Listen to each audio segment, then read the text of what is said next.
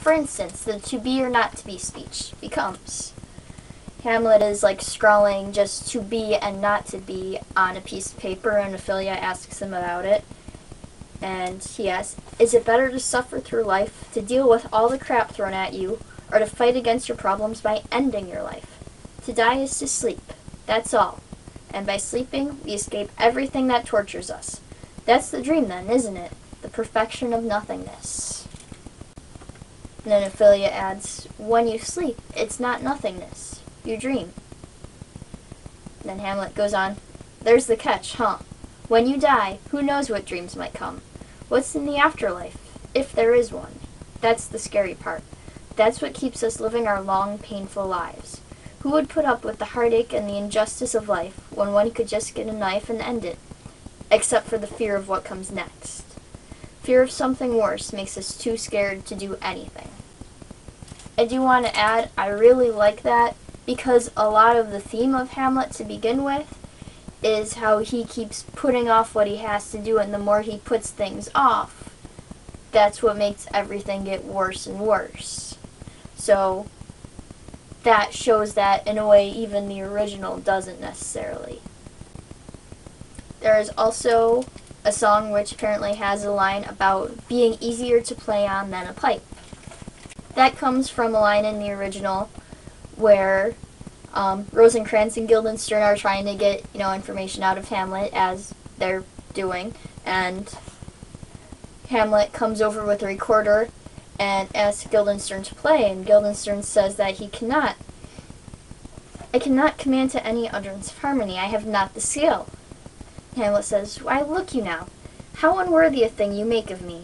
You would play upon me. You would seem to know my stops. You would pluck out the heart of my mystery.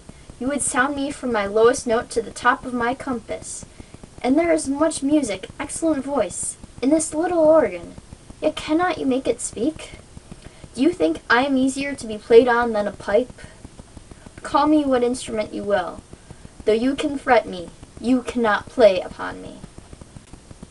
I guess I didn't need to read the whole thing, but I really like that. And I I come very close to quoting it also during the year when kids start to learn to have their recorder unit at school, and so everyone at the rec center has recorders.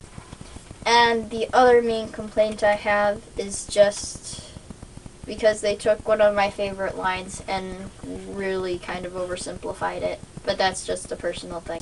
In the scene where Hamlet is getting ready for the sword fight with Laertes, he says, you know, he thinks something's wrong. And Horatio says, well, if you think that, then, you know, listen to your instincts. I am not going to finish this in time.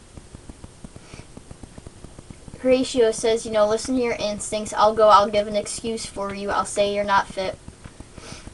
And in the original, Hamlet says, not a whit. We defy augury. There is a special providence in the fall of a sparrow. If it be now, 'tis not to come. If it be not to come, it will be now. If it be not now, yet it will come. The readiness is all. And that turns into No, I'm prepared for whatever. Que sera, sera, you know? Let's just do this thing. And I don't know. I feel like there's so much more said than just that. Maybe not. Maybe I just like that line and I'm biased. But there you go.